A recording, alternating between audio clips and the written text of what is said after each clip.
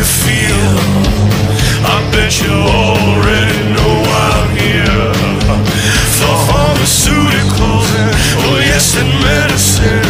Oh yes, and medicine it keeps you alive.